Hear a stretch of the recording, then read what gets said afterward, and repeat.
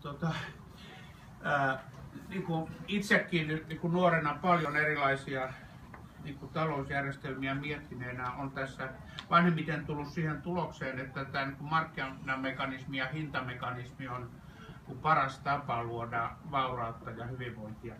Niin tällaiselle tällaisen niin kuin markkinafundamentalistin näkökulmasta täytyy kuitenkin sanoa ihan rehellisesti, että tämä niin kuin raha, rahoitusmarkkinoiden järjestäminen ja sääntely, niin ne on jonkinlainen ratkaisematon avoin kysymys markkinataloudessa ja ne, jo, ja ne aiheuttaa ongelmia. Ja niitä tässä aikaisemmat puhujat on ihan ansiokkaasti myös luonnehtineet.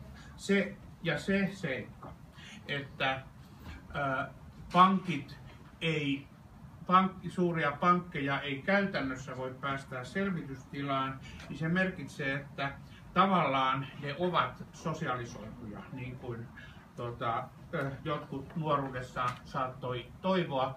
Ja se tarkoittaa sitä, että ne ei ole, kun se pankkitoiminta ei aina ole oikeasti niin kuin yksityistä yrittelijäisyyttä ja siitä syntyy juuri nämä moraalikadon ongelmat, jotka tarkoittaa sitä, että, että pankit voi ottaa suurempia riskejä kuin mikä hyvinvoinnin luomisen kannalta on niin kuin optimaalista tai järkevää. Eli voidaan ottaa riskejä tietäen, että tuota, huonon lopputuloksen toteutuessa ne, tuota, se risk, lasku siitä riskistä levitetäänkin sitten koko veronmaksajille. Ja tässä se, se ö, sykli näiden rahoitusmarkkinoiden tota, optimismin ja romahduksen välillä, jota tota, Ville alussa luonnehti, ja joka on erinomaisesti kuvattu tämän edesmenneen englantilai- amerikkalaisen taloustieteilijän Haiman Minskin kirjoissa, niin se on mitä totisinta totta, eikä siihen ole löytynyt oikein hyvää ratkaisua. Ja jos lukee tämän alan kirjallisuutta, vaikka sitä Rogoffin ja Reinhardtin kirjaa finanssikriiseistä, niin kyllä muodostuu sellainen käsitys, joka mullakin on, että tässä näihin ei ehkä, en tiedä onko olemassa niin kuin patenttiratkaisua, jolla me näistä tota, optimismin ja ylivelkaantumisen ja sitä seuraavan romahduksen sykleistä ikinä päästäisiin eroon. Ja siinä mun nähdäkseni toimii ihan tällaisetkin mekanismit, että, että ihmisikä ja työura on rajallinen ja tota, opit unohtuu.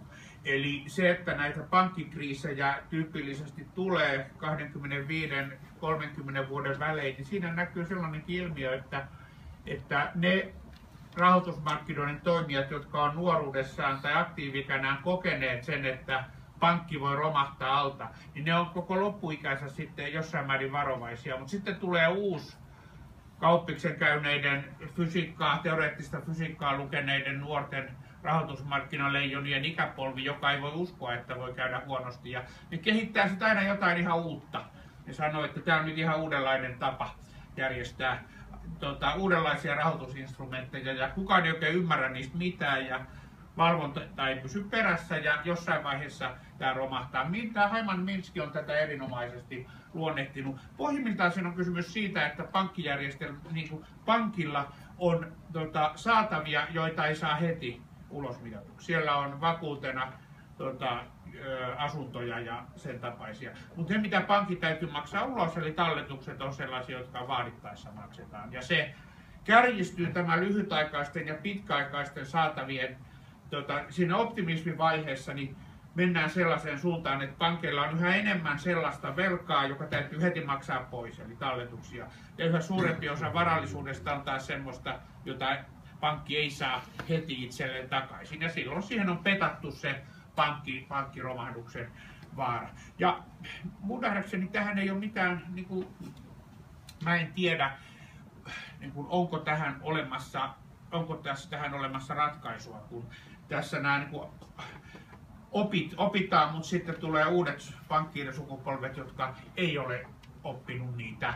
Ja se vaikka, että nyt tota, kun meillä oli maailmanlaajuinen finanssikriisi ää, tässä 2008, 2007-2008 alkaen, se, että pohjoismaiset pankit ei ollut siinä mitenkään etualalla.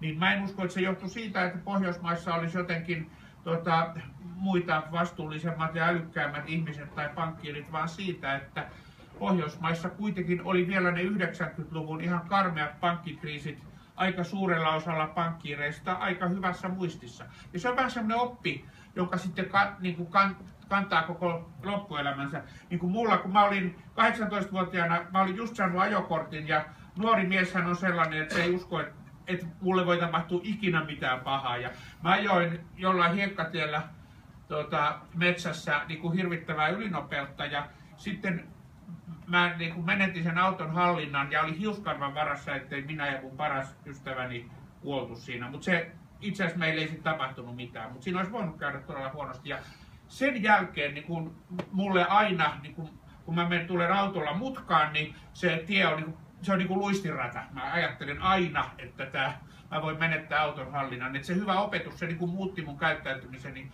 loppuelämäksi. Ja kyllä mä luulen, että, että niin kuin pank, näissä pankkiirisukupolvien välillä on, on samanlainen ilmiö.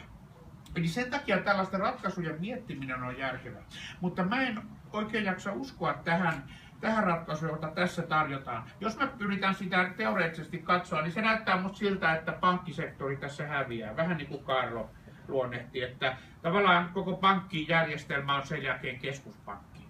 Ja meillä on kun osuuksia keskuspankissa. Mutta niin kauan kuin me eletään vapaassa yhteiskunnassa, jossa on voimassa velkakirjalaki, että jokainen saa kirjoittaa velkakirjoja, niin silloin rahaa syntyy.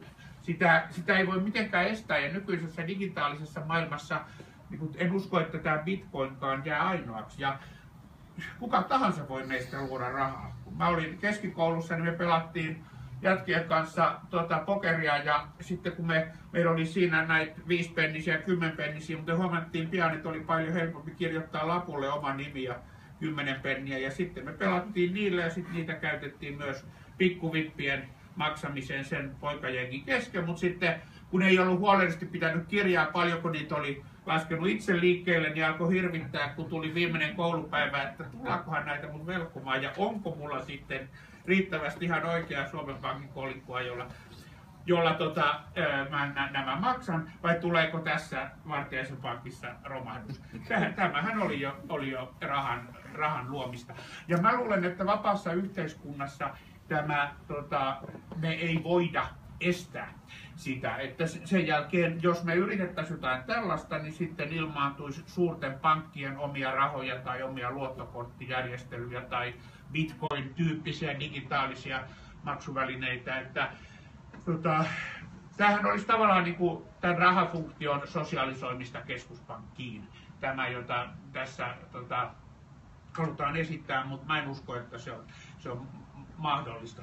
Ehkä mä lopuksi sanoisin vaan sen, että Ville, siis toi on musta sinänsä, siis tää, mä en suhtaudu tähän ollenkaan pilkallisesti, että tämä on tuota, järjetön ajatus. Mutta siinä sulla on musta ajatusvirhe, että jos sä ajattelet, että kun sä mainitsit, että tällä hoidettaisiin kestävyysvajetta ja valtiovalta saisi lisää resursseja, niin kuitenkin hyvä lähtökohta talouden ymmärtämiseen varsinkin päättäjien näkökulmasta täällä eduskunnassa on se, että raha on kuitenkin ikään kuin vaihdon väline ja tekninen väline, joka ei luo reaalisia resursseja. Ja se niin kuin reaalitalouden voimavaroja rajoittaa se, että paljonko meillä on ihmiset, jotka tekee työtä ja paljonko ne tuottaa arvonlisää. Ja vaikka meillä olisi mitä tuota, rahajärjestelmiä, niin ei me sitä reaalista varallisuutta voida, voida tuota, lisätä rahalla. Ja nämä julkisen velan ongelmat, ne johtuu ihan tällaista reaalitaloudellisista seikoista, että meillä on niin iso palvelulupaus, että meidän